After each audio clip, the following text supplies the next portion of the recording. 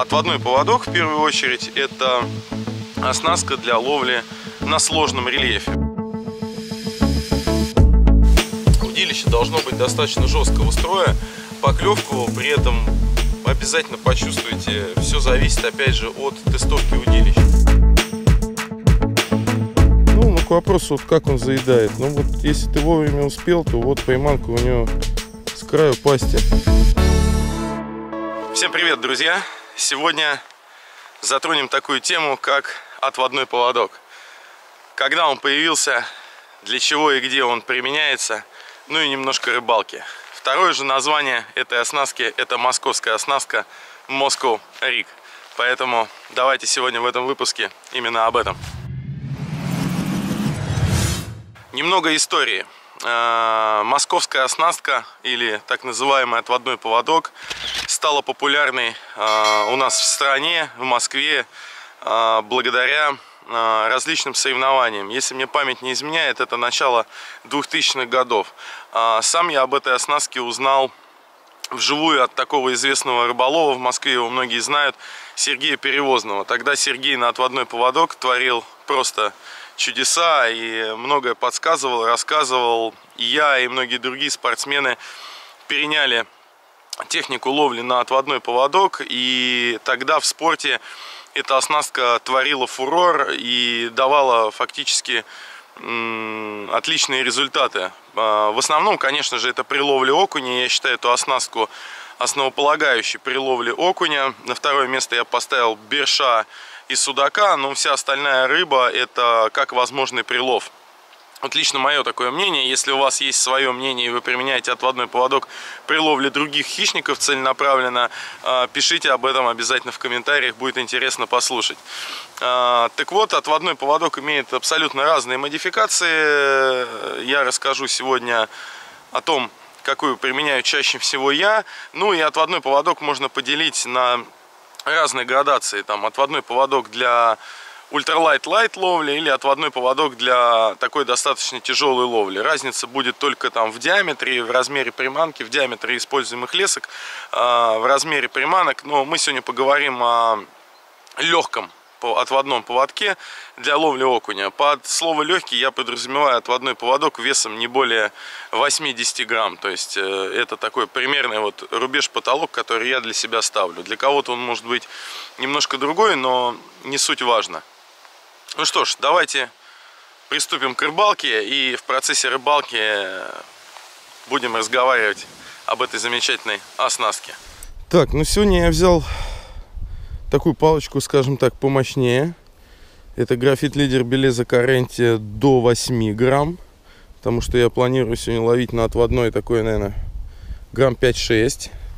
Потому что я буду ловить сегодня на прудах. И здесь оптимальный груз по шарниру – Э, чаще всего это 2-3 грамма.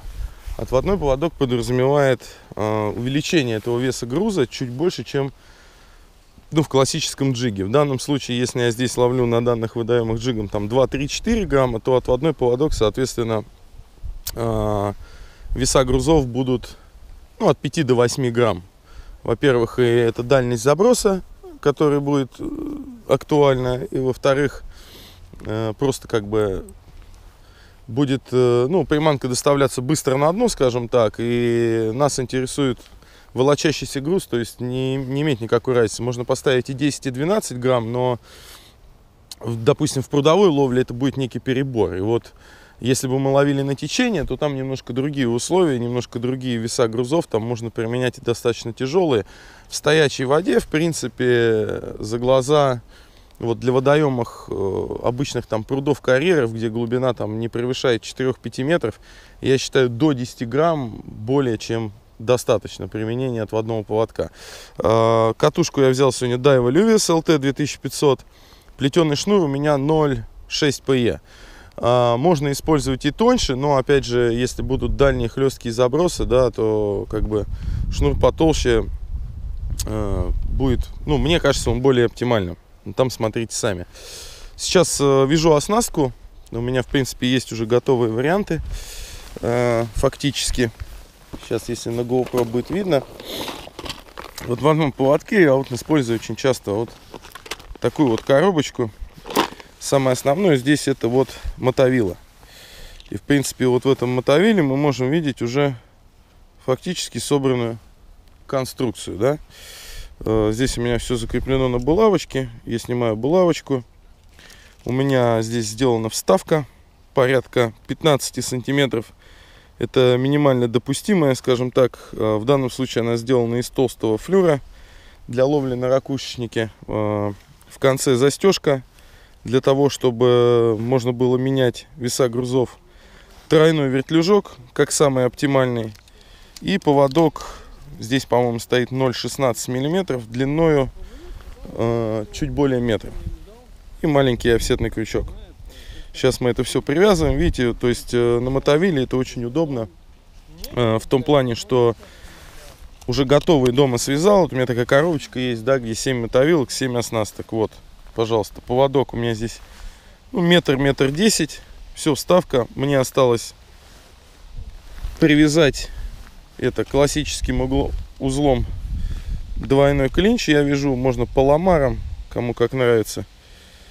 Вот, раз, два, три, четыре, пять, шесть, семь, восемь. В петлю и в эту петлю. Затянули. Все отлично. Вешаем грузик, приманку и погнали. На самом деле, друзья, отводной поводок, он э, сейчас на многих соревнованиях при ловле спиннингом с берега дисциплина запрещена. И у нас э, спиннингисты делятся на спортсменов, которые за отводной поводок, и те, которые против. А, почему, наверное, это происходит? Да? Ну, а, скорее всего, а, многие считают, что отводной поводок это губителен для рыбы. Окунь глубоко заглатывает приманку, кровит, и, соответственно, мы типа ловим трупиков. Кто-то считает, что эта оснастка слишком проста в использовании, типа поставил отводной поводок, и рыба сама там дуром на тебя, на, на тебя будет вешаться.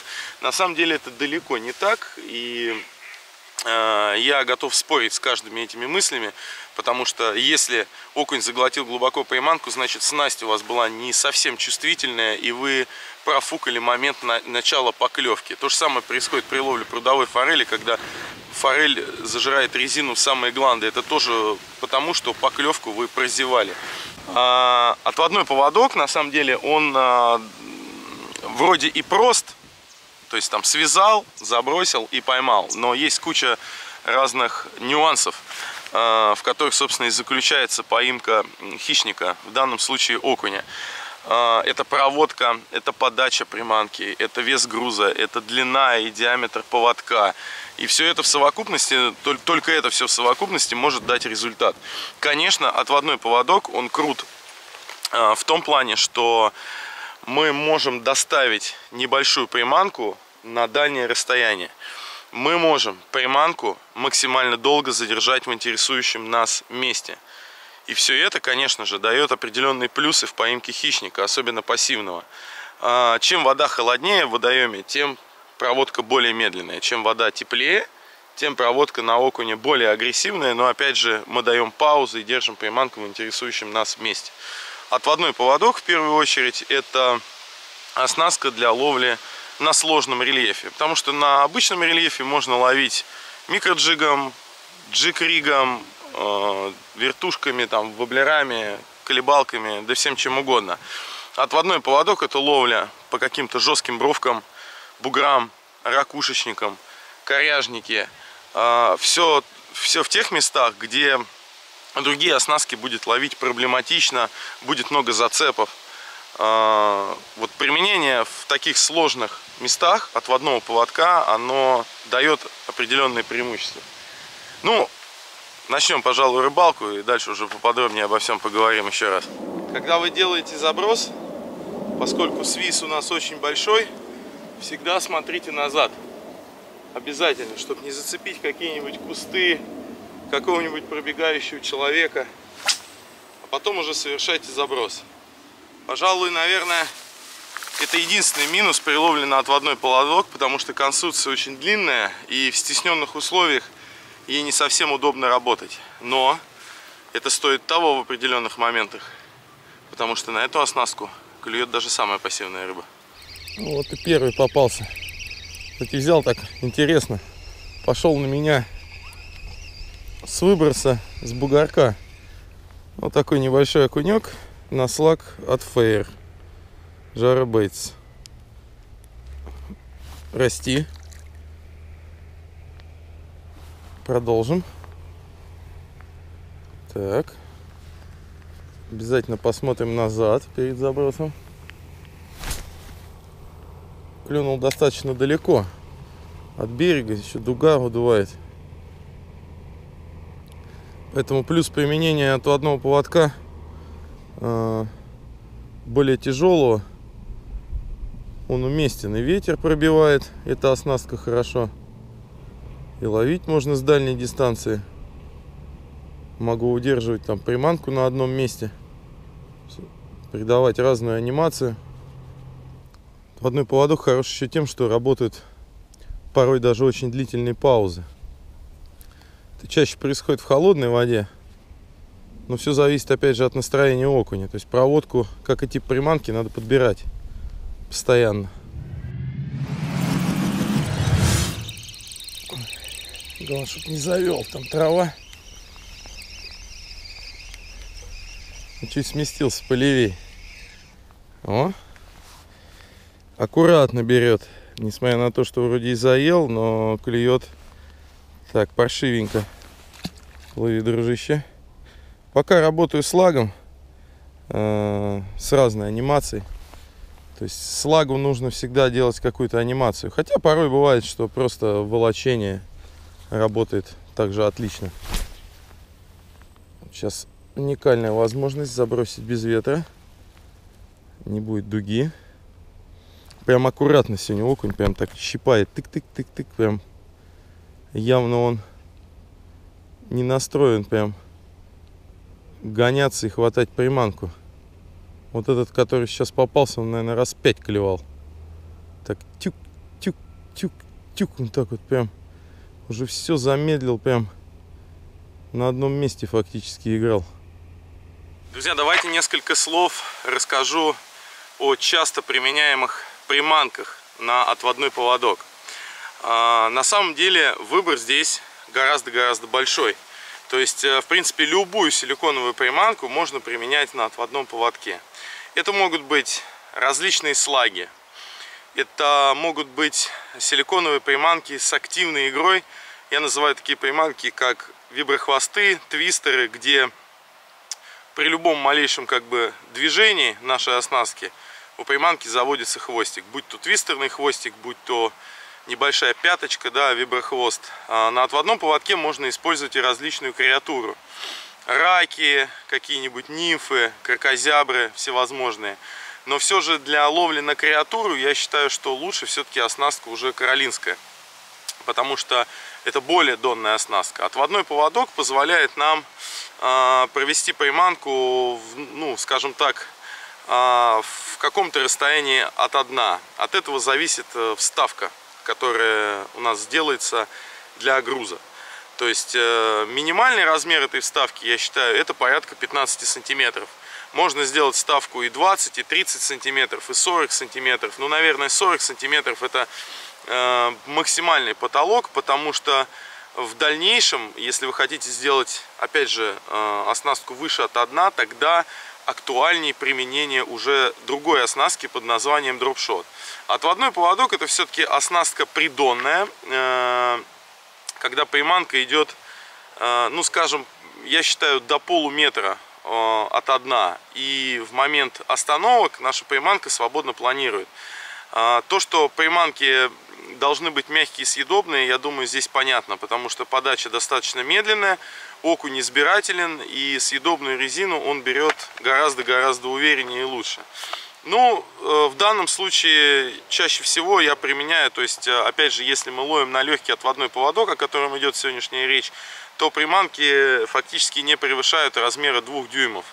А, то есть слаги вот классические либо Квинси, либо Фейр, Э, виброхвосты это шедер, это реалик, э, это возможно там свинг импакт, э, другие виброхвосты, ну и соответственно классический твистер. Цвет приманки э, имеет также немаловажную роль, поскольку подача приманки у нас идет очень медленная, и рыба успевает присмотреться к приманке, понять, там нравится ей цвет сегодня, там именно этот в данной воде или нет, или не нравится. Лучше использовать э, темные оттенки, как показывает практика, они на любо, на любой, наиболее актуальны. То есть это виноград, грейп, фиолет и машинное масло совершенно разных производных. А в какие-то моменты э, бывают естественные там белые, матовые, блестящие приманки работают. Здесь уже все зависит непосредственно от вашего водоема, э, где вы ловите. Поменял приманку, сейчас поставил в Алфе. Приманка своей собственной игрой, это классический твистер небольшого размера, дюймовый. Окунь в пруду здесь не крупный. Сейчас попробуем половить на него. Если слагу нужно придавать какую-то анимацию, то для твистера достаточно просто делать протяжки. Можно просто делать медленную равномерную проводку. Сейчас попробуем просто вот особо ничего не делать, просто волочить грузик с такими плавными покачиваниями. Прям еле-еле притронулся. Вот он. А, сошел. Прям настолько аккуратно клюет сегодня окунь. И опять я попал на бугор. Прям с этого бугорка только начал, замедлил проводку. И он прям такой жевал, жевал, жевал.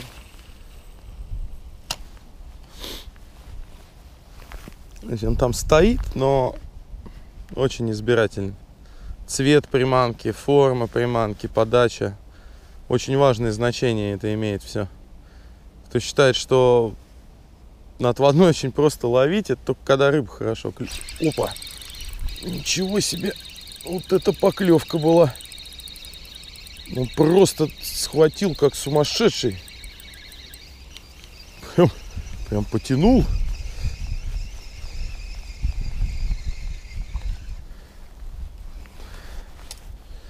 Потянул, ну к вопросу, вот как он заедает. Ну вот если ты вовремя успел, то вот пойманка у него с краю пасти.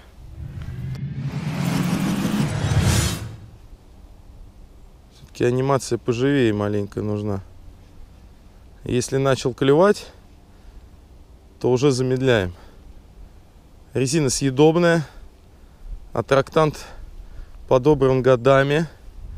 У нас он называется мидия. Ну, по факту это такой э, рыбный запах, в принципе, у него. Вот. Э, после долгих экспериментов за свою рыболовную практику я понял, что вот окунь данный запах любит лучше всего. На второе место я бы, наверное, поставил классический сыр. Сыр похуже работает, но в теплой воде порой бывает выстреливает. В холодной воде уже мидия как бы гораздо-гораздо лучше. То есть э, аттрактант позволяет окуню, когда он вот так вот аккуратно берет приманку, он ее щипает, вкусовые рецепторы так или иначе у рыбы присутствуют. И резина очень-очень мягкая и он ее не бросает. Он ее не бросает, он ее продолжает жевать, жевать, пока не съест. Резина нежная, но нужно и понимать, что вот в одном поводке уж точно это главенствующий фактор. Я вспоминаю начало 2000-х годов, когда мы ловили на твистера, на обычные там китайские, в общем, какие были на рынке мы их обязательно варили. Сейчас этого делать не надо. Здесь уже мягкая консистенция резины, позволяющая просто соблазнять рыбу. Ну вот, собственно, перед вами, друзья, флюркарбоны. 3 либра, здесь 4 либра, просто стерлось уже 5 либров. 5 а, либров я применяю чаще уже на отводном поводке, а, который использую свыше 10 грамм где-нибудь на течении. В прудовой ловле 3-4 либра более чем достаточно. 0,14, соответственно 0,16 миллиметров. Вставку для груза. А, я делаю вставку для груза, либо использую достаточно толстую плетенку, порядка 3 ПЕ, Но если ловля происходит в ракушечных местах, то лучше применять флюркарбон диаметром 0,35-0,4 мм. Во-первых, э, флюр достаточно жесткий, и с более тонким диаметром флюра на поводке э, перехлестов и закруток становится гораздо-гораздо меньше.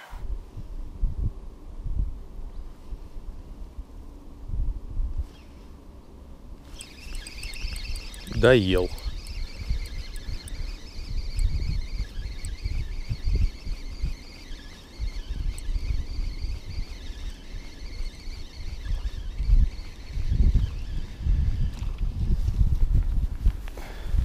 доел и при этом вовремя своевременная подсечка и овсетник у нас с краешку никуда он не заглотил если удилище позволяет ну имеется в виду чувствительность спиннинга да на уровне то в целом вы поклевку не пропустите бывают ситуации когда боковой ветер еще что-то конечно мешает более точному определению поклевки, там, течения, ну, можно ее просто пропустить. Ну, обычно вот в стоячем водоеме такое происходит крайне редко. Вот если бы я сейчас не подсек своевременно, а дал бы ему еще за, за, заедать, то, конечно, у него приманка оказалась бы уже там в гландах, и, можно сказать, это был бы уже труп.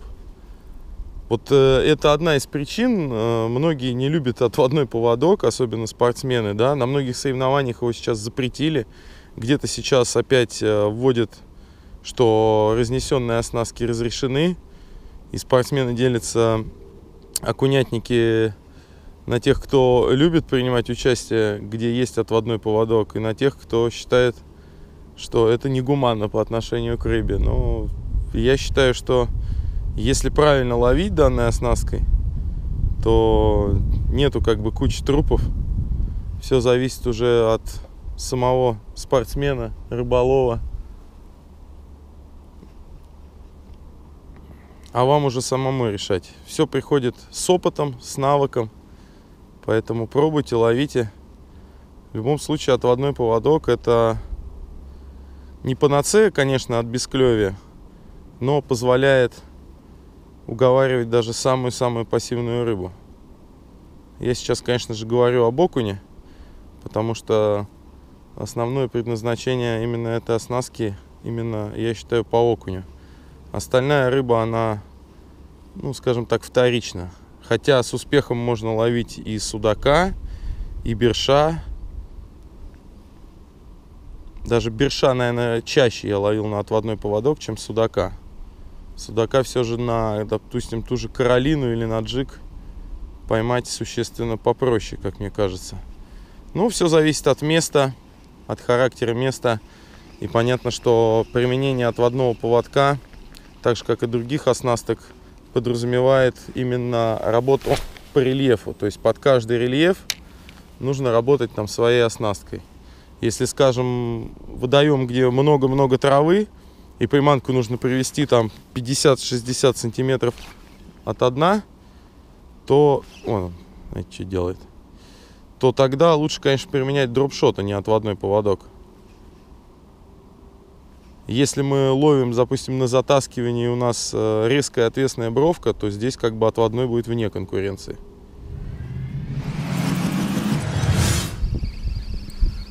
Но все-таки вот рыбка, когда пассивная, как сегодня. Все-таки активные хвосты, они работают. Я сейчас попробую еще шедер поставить. Ну вот реалик работает.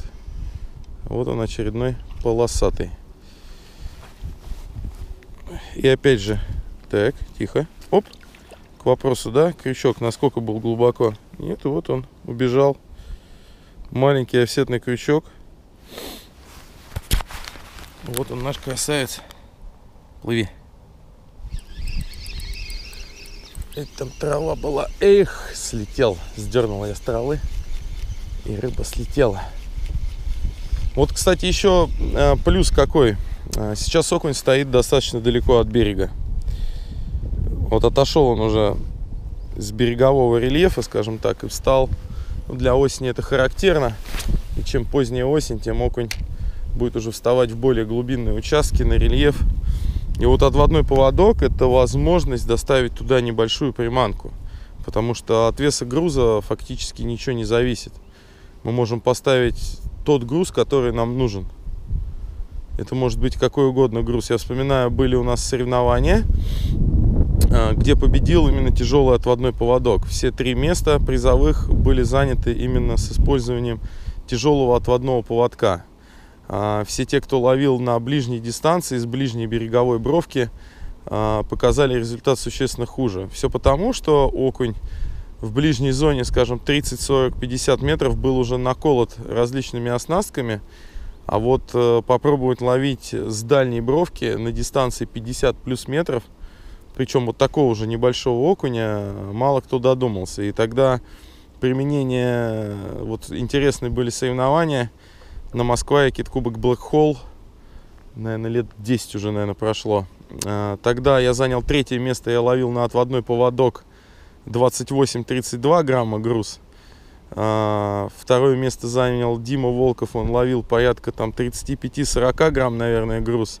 И первое место занял Петя Москалев, который ловил там на 50-60 грамм груз и бросал приманку там под 100 метров, клал с трехметровым удилищем. При этом приманка на отводном поводке была такая же маленькая, то есть небольшой слаг, там буквально там дюйм-полтора, ну максимум два. И ловили мы не крупного окуня, ну проскакивали окуня, конечно, и посерьезней. Но вот сам факт того, что просто ловишь на дальней дистанции. Вот ни одна из других оснасток по дальнобойности не сравнится с отводным поводком. Это самая дальнобойная оснастка по доставке вашей приманки в интересующее место. Друзья, давайте затронем еще тот момент а, выбор спиннингового удилища при ловле на отводной поводок. На самом деле этот вопрос многих мучает и вызывает массу споров в интернете, э, на различных форумах. А, на самом деле, мое мнение, все достаточно просто. Во-первых, спиннинговое удилище должно соответствовать а, тесту применяемых а, вами грузов в оснастке отводной поводок. То есть, э, ну, скажем, вот я сегодня ловлю, у меня удилище графит лидер Белеза Каренти 68 до 8 грамм. И грузики, которые я применяю, это 4, 6, 5 грамм в основе. Да? А, удилище, я считаю, должно быть а, быстрого строя, с достаточно с жестким комлем и с вершинкой э, ни в коем разе не солидной, а либо табулярка, либо э, общий такой концевой строй у палки, рапирный я ее называю. Объясню почему. Когда мы ловим на отводной поводок, э, наша задача да, провести приманку в сложных условиях.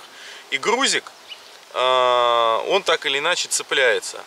Если спиннинг будет достаточно мягкий, то э, вот этим вот коротким кистевым движением руки, когда мы сбрасываем грузик с препятствия или продираем его через бровку или через окушечник, жесткий бланк, жесткий хлыст позволяет вот таким вот легким движением, когда мы сделали, грузик перевалить. Если удилище будет мягкое, особенно это важно на течении, то тогда просто вот этим движением груз как бы всосется, то есть э, не передастся вот эта динамика удара, вот э, такого кистевого подброса небольшого, да, на нашу оснастку. То есть э, бланк все это дело смягчит, и грузик просто упрется, въедет в корягу, в бровку, и, соответственно, мы потеряем фактически целую оснастку. А, то есть я все же считаю, что удилище должно быть достаточно жесткого строя. Поклевку при этом обязательно почувствуйте. Все зависит опять же от тестовки удилищ. А, опять же, на примере, который я сегодня рассказывал на соревнованиях, когда ловили трехметровыми палками с тестом там до 70 до 80 грамм, а, поверьте, поклевку через плетеный шнур, даже вот такого окуня, она чувствуется. То есть э, это главное это строй удилища, чтобы мы оснастку могли проводить э, в сложных условиях. Для прудовой рыбалки, для стоячего водоема это не так критично, но тем не менее при ловле в жесткой траве, в осоке, в кувшинках, в каких-то корягах э, это будет также актуально. Э, длина удилища, ну я считаю, чем длиннее, тем лучше. Во-первых, потому что и сама оснастка у нас дальнобойная, и чаще всего нам нужно доставлять э, нашу оснастку достаточно далеко от берега. И плюс ко всему, вот я ловлю сегодня 68 длиной, у меня вот поводок, он э, ну, больше, чем наполовину спиннинга занимает э, место. То есть, если бы у меня палка была какая-нибудь шестерка, мне было бы точно некомфортно ловить. Вот где-то 68-7 это примерно такая минимальная длина, вот, которую я бы рекомендовал использовать. Опять же, все зависит от того места, где вы будете ловить на отводной поводок. Так, ну ладно, мы на слаг сегодня поймали. На слаг похуже клевал. Он. Видели, да, картину Репина? Я выматывал отводной, и окунь за ним шел. Э, ну, это пелагический уже товарищ. Вот. А смысл не в этом. Значит, э, на твистер поклевки у нас есть. И мне кажется, поживее. На слаг похуже. Нужно с анимацией разбираться. Сегодня это именно так.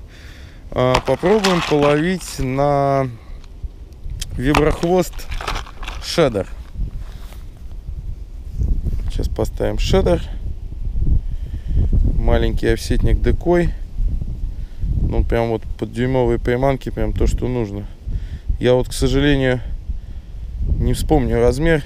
Если что, кому интересно, напишите в комментариях. Я, может быть, даже вам ссылочку дам на эту модель декоевских крючков. Врать не буду, может быть, это SS Hook, по-моему. Но могу ошибаться.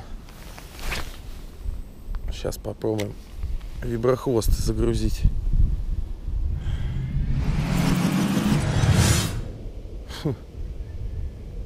Тыр-тыр-тыр-тыр-тыр. Ну. Долго ты будешь так клевать? Прям идет, сопровождает, бьет. О, ну. Ну. На, отдам. Вообще отдам. Еле-еле буду вести. Давай.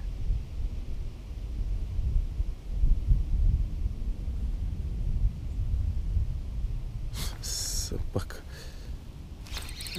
Вот все. Просто отдал ему. И он ее доел. Наверное, раз пять по ней бомбил, бомбил, бомбил, бомбил. Ну вот. Подрос маленько за лето. И опять ничего никуда не заглотило. Все четко понимание, когда происходит поклевка, когда подсечь. Да-да, плыви. И твистер сегодня рулит. Ну, вообще на отводном поводке рулит. Сейчас будет вода холоднее становиться, и тогда уже виброхвосты начнут лучше работать. Все, не взял, тут надо выматывать. Ну вот, еще чем хорош отводной поводок, им можно работать как маркером. Кстати, не клюнуло, потому что приманка сползла. А, им можно работать как маркером а, в плане фидерной ловли, да, вот как люди используют маркер. Можно поставить достаточно большой груз и пробить акваторию, дно на наличие ракушечника, зацепов, бровки, подъемов, там, падения. То есть ставим большой груз, делаем заброс, и начинаем просто там протягами вести по дну. И потому как у нас груз идет по дну, жестко он бьет, э, в, блан, ну, в бланк отдает, да, э, довольно-таки мягко. Или какое-то препятствие, или вы чувствуете, пошел подъем, опять же, унылистый или ракушечный. То есть э, отводным поводком хорошо на незнакомом водоеме достаточно быстро пробивать рельеф.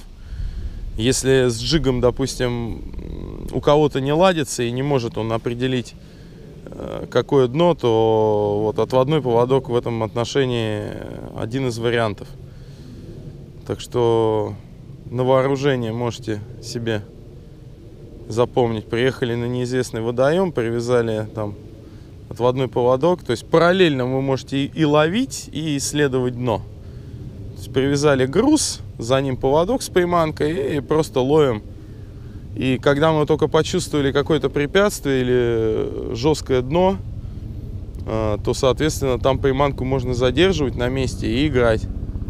Потому что вероятность поклевки именно там жесткого грунта, с какого-то зацепа с коряги, она наиболее высока, чем, чем мы будем там всю проводку делать медленно и тошнотворно, не понимая, в каком месте нам нужно задержать приманку. То есть, если мы работаем, скажем, вот мы стоим, у нас бровка там в 40 метрах от берега, выкинули на 60. И там за бровкой можно достаточно быстро провести, там активно отводной поводок, чуть ли не как джиговой ступенькой, там с подбросами. И уже когда начался подъем, мы приманку там задерживаем. То есть я еще раз повторюсь, отводной поводок это такая э, точечная история э, ловли по рельефу. Друзья, но ролик буду на сегодня заканчивать. Надеюсь, я ответил на многие вопросы о ловле на отводной поводок, показав это на небольшой практике. А, если у вас остались какие-то вопросы, пишите в комментарии, разберем и обязательно отвечу. Спасибо большое, что были со мной. А, ваша благодарность, лайк и подписка на наш канал. Но у меня на сегодня все. До новых встреч на водоемах.